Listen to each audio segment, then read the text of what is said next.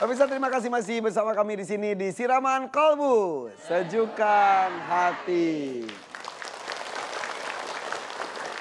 Ya buat pemirsa di rumah khususnya yang sudah mengisi dan mengirimkan formulir via WhatsApp. Mohon bersabar untuk dibalas satu persatu. Jadi kembali kami informasikan bahwa yang kirim WhatsApp, yang daftar, yang berkeluh kesah dengan semua penyakitnya itu sudah 32 ribu orang. Chatnya dibalas, diusahakan dibalas satu persatu oleh tim kami. Itu kalau yang formulir sampai numpuk sekali di kantor. Jadi mohon bersabar ya. Yang jelas semua informasi hanya melalui Instagram kami yaitu di @officialmnctv atau melalui WhatsApp kami di 081617453977. Daftar di situ dan e, jika ada yang menghubungi hati-hati apalagi kalau sampai minta bayar apa, bayar ini, bayar itu. Jangan terima. Itu bohong, itu penipuan. Hati-hati ya karena korbannya sudah banyak. Jadi kami informasikan ini supaya tidak bertambah lagi korban penipuan ini. Betul Ustaz ya? Salam. Tong tega ya orang ya. ya, di sini nggak ada yang ditipu kan Bu? Ya. lemes banget ya kalau lemes pijit-pijit dulu deh, pijit-pijit yuk. Boleh, boleh, boleh, boleh. Kiri dulu. Pijit yang sebelah kiri. Ayo Ibu pijit yang sebelah kiri ya. Ayo. Beda warna juga pijit. Kiri. Kiri. Eh, yang ini salah kiri. Yang yang jilbab biru salah. Yang jilbab biru iya. Salah yang biru. Oke, sekarang kanan, balik arah. Bapak ikutan juga nggak apa-apa iya. Pak ikutan Pak. Udah cukup, udah selesai. Keenakan iya. Boleh tepuk tangan Ibu Bapak. Iya, kalau yang sudah punya pasangan suami istri pulang kerja ada yang mijitin, ya. Itu biasanya pas masih awal-awal doang, sana terserah. yang masih jomblo, yang sabar aja bro. Ustadz ada yang mau disampaikan lagi mengenai Iya. jodoh? Tadi memang sempat terpotong.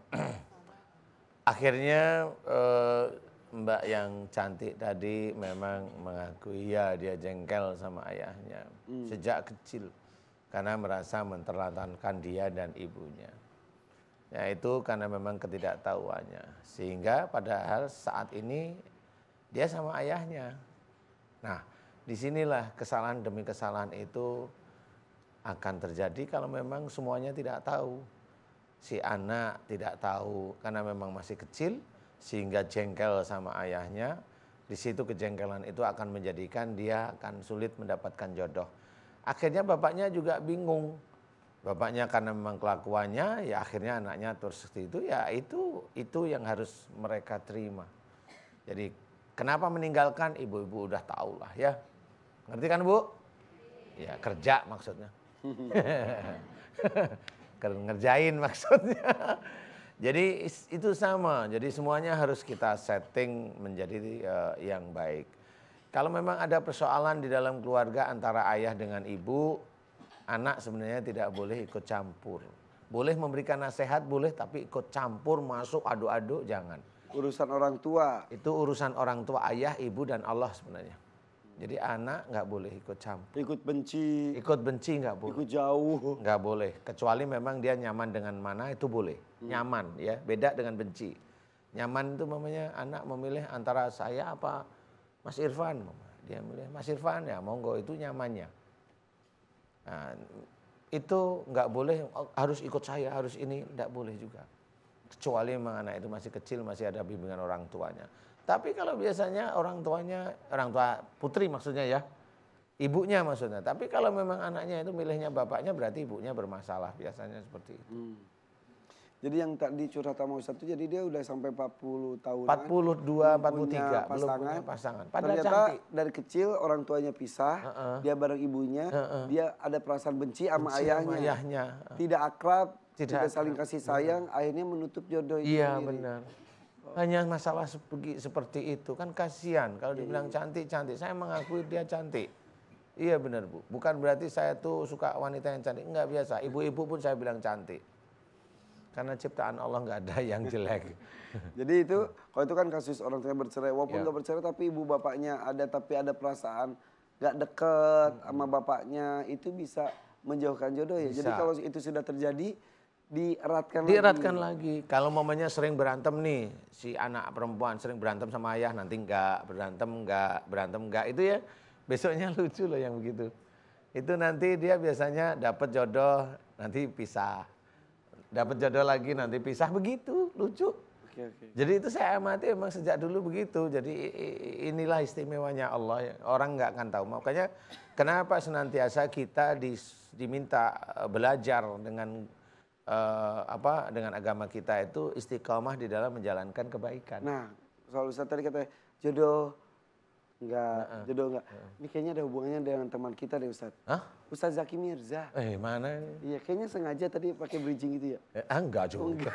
Pas-pas saja. Oh, pas-pas saja. Ustaz Zaki, silakan tepuk tangan untuk Ustaz Zaki. Assalamualaikum. Assalamualaikum Ustaz. Assalamualaikum. Baru pulang umroh betul ya? Seger Alhamdulillah. banget. Ini bau-bau eh, kiswah. Oh iya. Kismis dan Bismillah. Silakan. Siap. Tahu aja kita lagi ngomongin jodoh. Iya. Bisa aja pas. Ibu. Kemarin-kemarin padahal kita nggak ngebahas tentang jodoh apa pun nggak ada loh. Ya emang udah disetting begitu sengaja. Dan saya udah pasrah sebenarnya. Silakan mau sampaikan mengenai jodoh Baik. atau lagi mencari jodoh? Eh, coba saya lihat-lihat di sini. Wah kurang ada yang Yahud nih kayaknya. Langsung ya. Silakan, silakan. Bismillahirrahmanirrahim. Assalamualaikum warahmatullahi wabarakatuh. Waalaikumsalam warahmatullahi wabarakatuh. Memang dalam hidup itu ada tiga hal yang kita harus pasrah, sepasrah-pasrahnya sama Allah. Yang pertama masalah kematian. Hmm. Itu pasrah banget tuh. Gak bisa tawar menawar. Nggak bisa. Ada yang udah dirawat di rumah sakit berbulan-bulan, infus di mana-mana, enggak mati-mati. Ella yang besuk pulang langsung. Iya, yang besok besoknya mati. Gitu kan. Ada dulu almarhum om saya nih Ustadz, Ya. meninggal. Terus temen akrabnya ngejenguk, ikut eh, mandiin, ikut apa namanya ngafanin. Terus dia pulang ke rumah, siap-siap mau mandi, mau ikut nyolatin. Eh nungguin zuhur, karena habis zuhur disolatin, dia duduk, mati di situ. Ya, Jadi bareng. Bapak. barengan. Jadi nggak ada yang bisa nebak ibu ya. Ya yang duduk mati banyak, makanya angin duduk. Bisa deh. Angin duduk. Angin duduk. Itu padahal angin duduk gimana loncat Bang? Iya, lompat-lompat anginnya ya. Ada yang suami istri, suaminya yang sakit-sakitan, istrinya yang ngurus. Yang meninggal duluan yang istrinya yang ngurus. Betul. Banyak yang seperti itu. Subhanallah. Itu kematian makanya harus Ya. tawakal Allah. Yang kedua, ini masalah rezeki. Ada tukang dagang nasi uduk gitu ya. Udah dari pagi dagang sampai siang, uang banyak. Eh, dirampok orang. Kecewa, kesel gitu kan. Ada yang tiba-tiba dapat rezeki. Ibu-ibu suaminya pulang tiba-tiba bawa uang 50 juta. Rezeki nomplok. Enggak, ngojek motornya dijual sama suaminya. Itu yang kedua. Hasil jual motor. Jual-jual motor. Tapi memang betul ya salah satunya ini kalau Ustadz eh, Zaki ini dia banyak uang tapi mau mau ditaruh ke mana ya? Hmm. Emang kenapa Ustaz? Hmm? Uang banyak ditaruh kode itu maksudnya gimana tuh? Udah lanjut aja. Aduh kan saya lupa tuh yang ketiga apa itu? Gak ada yang nampung gitu. Iya oh nggak ada yang nampung. Gak ada yang nampung. Yang ketiga ya yang harus pasrah ya masalah jodoh sih ya. Makanya kan ada istilah itu ah, yang asam di gunung, garam di laut. Ketemunya di dapur. ya kan bener, Dicobek. dicobek gitu. Makanya kalau ibu umroh tuh ada yang namanya Jabar Rahmah. Tempat pertemuan. eh, Nabi Adam dan Siti Hawa dipertemukan. Makanya bapak-bapak paling demen ke sana tuh. Karena di sono nulis jodoh nama. Makanya kalau ibu Gak boleh tapi itu kan. ya, sekarang udah nggak boleh. Dulu masih dibolehin tuh. Bawa pada bawa spidol semua kan. Nulis nama. Ibu kalau bapaknya situ liatin bu. Jangan-jangan bukan nama ibu yang ditulis. Jadi jodoh itu udah udah benar-benar diatur dan dipasrah. Makanya dalam surat An-Nisa ayat pertama, A'udzubillahi ya ayuhan nas ittaqullaha. Ittaqullah. Jadi allazi khalaqakum. Nah, Allah itu eh, memerintahkan kepada kita untuk bertakwa kepada Allah dan pasrah. Min nafsi wahidah. Allah sudah menciptakan kita. Wa khalaqa minha eh, dan Allah menciptakan kepada kita itu begitu banyak berpasang-pasangan. Rijalan katsira wan nisa, ada laki, ada perempuan. Nah, satu PR kita cuman pasrah kepada Allah Subhanahu wa taala supaya apa? Supaya siapa pun jodohnya itu yang terbaik. Makanya ada kisah dulu Ibu ya. Ada namanya Sabit bin Ibrahim. Jalan di pinggir sungai Kufah, terus dia ngelihat apel. Terus dimakan kan? Baru makan satu growak, satu growak, satu apa namanya itu? Satu gigitan. Satu gigitan, Betawi banget, Bang. satu gigitan, dia inget, wah ini saya belum izin nih. Ya, ya, ya, ya, ya. Wah kalau gitu saya harus izin dulu deh. Ternyata di situ nggak ada orang. Pas ditanya cuma tukang jaga kebun. Ternyata yang punya kebun itu jauh rumahnya satu jam perjalanan. Nah akhirnya ditanya tuan eh, rumah saya ini sudah makan apel udah nanggung. Gimana mau dihalalin nggak? Kata yang punya apel, oke saya halalin tapi syaratnya satu. Kamu harus nikahin anak saya yang buta, tuli, bisu, lumpuh. Kebayang nggak tuh bu? Apa yang diharapin coba? Udah tuli, nggak bisa ngelihat apa-apaan. Udah gitu bisu, ngomong susah, budeg lagi. Eh lumpuh nggak bisa jalan. La ilaha illallah, apes banget ini laki ya. Hanya gara-gara makan apel. Makan apel Satu doang. gerowak. Satu gerowak. Tuh pakai lagi bahasa gerowak. Terus? Eh ternyata subhanallah, ya udahlah pasrah. Nah inilah gambaran pasrah seorang anak muda. Ya udah saya pasrah. Eh ketika pasrah, subhanallah, pas dibuka itu kan ceritanya pakai cadar gitu, full. Pas dibuka, subhanallah ibu, bidadari surga. Cantik Masya jelita. Allah. Kayak gini nih bidadari surga.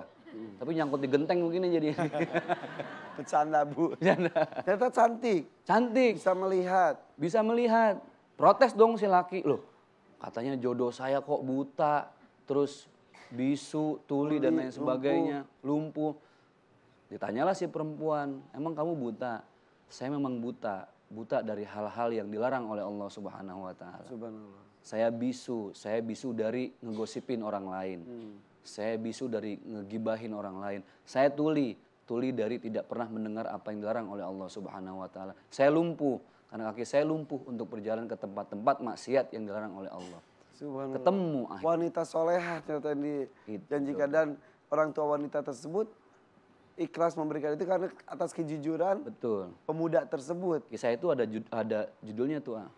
Jodoh apel growak itu namanya. Enggak. tapi masalah jodoh itu memang rumit-rumit, Iya. tapi asik untuk dibicarakan ya. Ada orang mengatakan katanya jodoh itu Johan, Johan. jodoh di tangan Tuhan. Kalau sekarang itu Jonathan, Apa tuh? jodoh di tangan mantan. Iya. Eh, Bisa eh. Bukan Jonathannya jodoh di tangan